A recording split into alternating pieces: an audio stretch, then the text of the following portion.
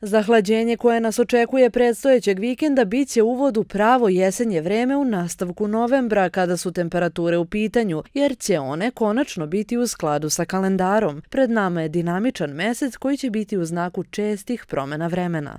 Četvrtak bi doneo pretežno sunčano vreme posle jutarnje magle, ali već u petak očekujemo novo naoblačenje, kišu, dalji pad temperature i ovo što ste pomenuli pravo jesenje vreme, što je kakvo je karakteristično za naše područje. Uz taj pad temperature u subotu će na visokim planinama iznad 1500-1600 metara biti uslova da kiša pređe u susnežicu i da planinski predeli vide i prve pahulje snega.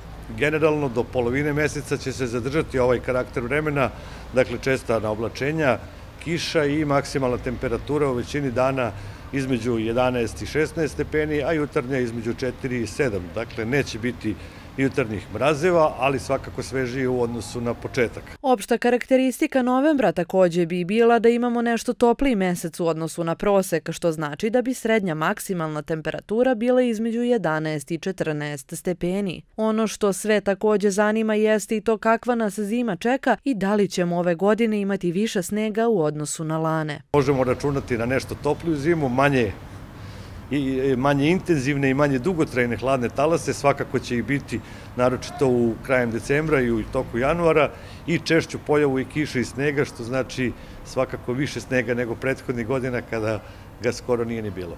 Mihajlović je dodao i da tokom zime neće biti dugotrajnih hladnijih talasa, te nas prema prognozi očekuje između 7 i 12 ledenih dana, odnosno onih dana kada bi maksimalna temperatura bila u minusu. Za dane koji su pred nama savjetujemo da nikuda ne idete bez kišobrana.